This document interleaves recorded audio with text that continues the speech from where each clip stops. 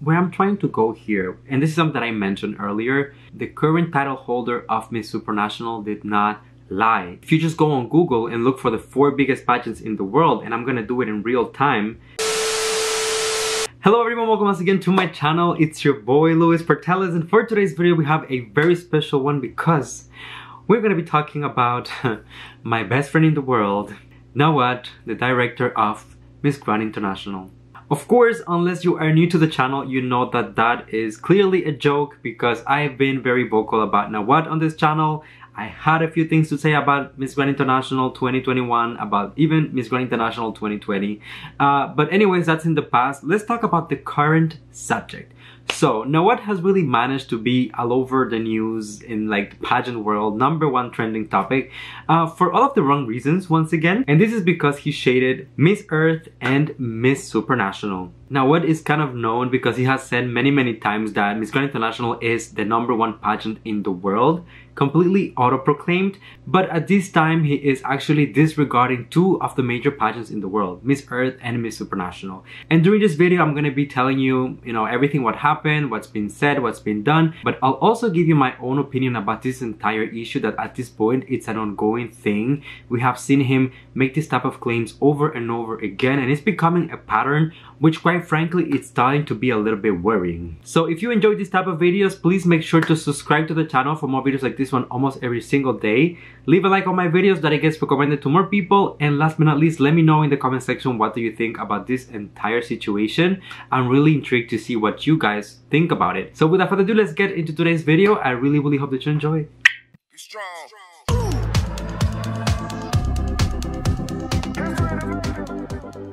Okay everyone, so let's get right into it. Just a few days ago, the current title holder of Miss Supranational had an interview where she was asked what was the meaning of the words supranational. Just being quite honest, as a new pageant fan, myself in the beginning, I did not understand the meaning of Miss Supranational, but she took some time to explain it. And she said that supranational means uh, without borders, borderless, someone that is global, you know? Then she proceeded by saying that Miss Supranational is one of the four biggest pageants in the world. And of course, she mentioned those four pageants. But instead of me telling you all about it, I'll let you hear it from her own lips.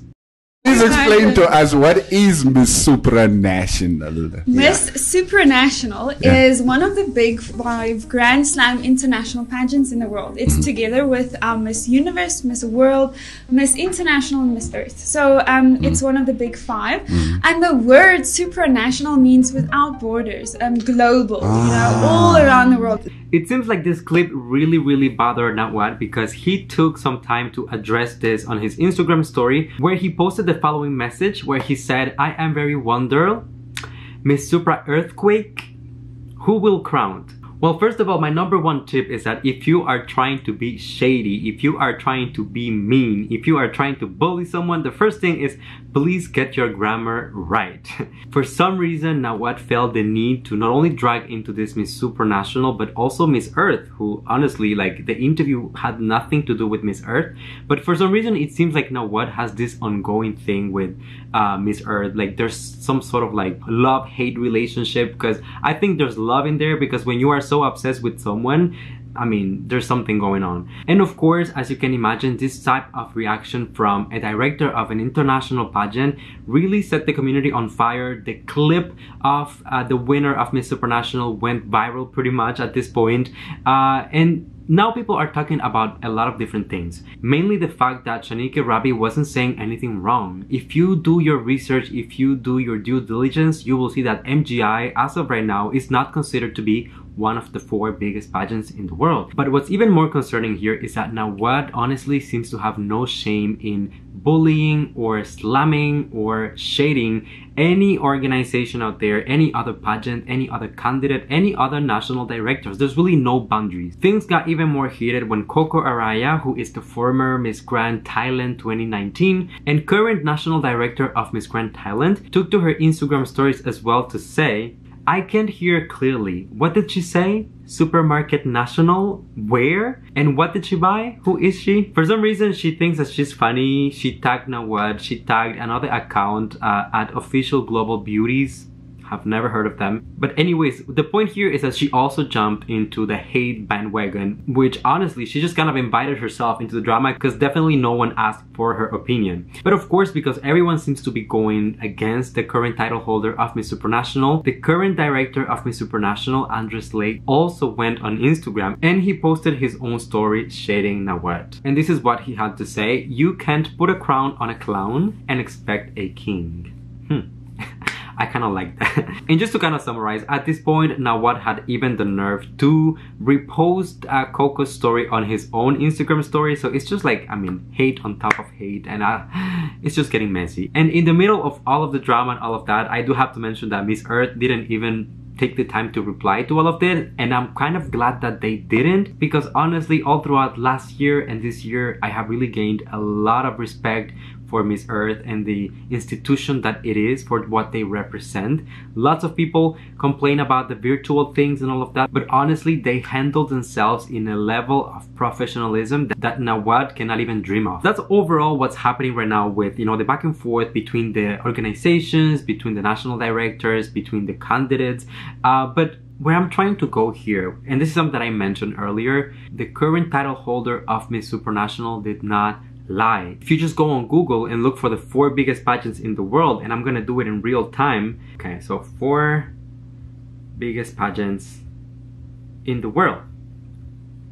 there you go is the first thing that comes up on Google. The Big Four or the Big League pageants refers to the four major international beauty pageants for women.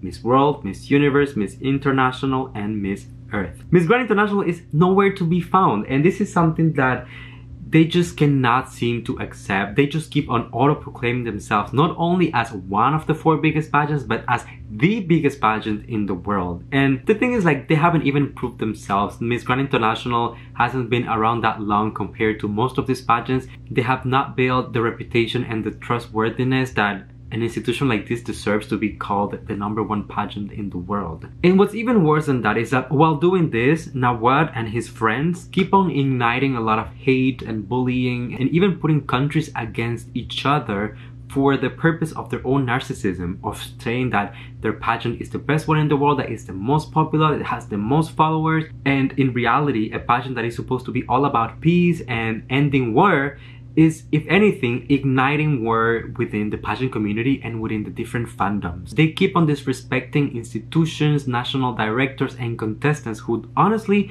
don't even acknowledge them. Like it, they, it's a little desperate at this point. Like I'm starting to feel bad for them. And don't get me wrong, Nawat knows how to put a show. Miss Grand International, when you look at it from a show business perspective, is brilliant. It's so entertaining. The production is amazing. Everything is well put together. However, pageants are not just about the show it's not just about what you present on stage there is also an essence a soul to the pageant that obviously Miss Grand International is lacking. If I feel like I want to watch a show, then I'll go to the circus, you know? That's not the reason why we watch Miss Grand International. And up until this day, although Miss Grand International has increased in popularity, you can still say that the decision making is questionable, the judging is questionable, the advocacy is questionable, the treatment of candidates is questionable, and the pageant itself is polarizing and you can tell that just lacks soul and purpose. So my humble advice to Nawat and Coco and the entire Miss Grand International organization is just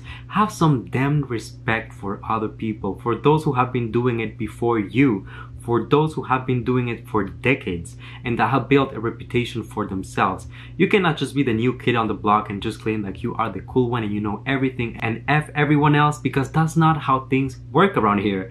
You need to start by looking at yourself in the mirror and look at the things that you need to improve and work on in order to even make it into the top four of the pageants in the world. It's not something that you can just repeat and repeat once again until it becomes a reality because it will not happen. And if anything, I feel like the perception of Miss Grand International from the fandom point of view, like from the pageant community, they just see it as a joke. It's just an entertaining show. There is really no credibility when it comes to the judging. There is no credibility when it comes to how they, even they treat their candidates. Think of even this year, there was a scandal about the top five, one of the top five queens. I'm not even gonna get into that, but had some damn respect for yourself and for the pageant community as well. That is pretty much what I had to say about this entire thing about Nawat's claims, about Coco's claims, about Andre's reply, and it's just honestly, I think like it's getting out of hand. There's really no reason why this institution should, you know, tolerate the bullying that is coming from Nawat's end. But anyways, I would like to know what you think about this entire situation. I will be reading your comments down below. Uh, if you enjoyed this type of videos, please show some support by leaving a like and subscribing to the channel for more videos like this one almost every single day. And last but not least, as usual, you know that's the tradition on the channel, come here and give me a hug because you know that I love you, that I appreciate you, and thank you for coming and spending a few moments out of your day here with me. Until I see you next time, please stay safe, be kind to one another, sending you all my love, all my kisses, and I'll see you on the next one.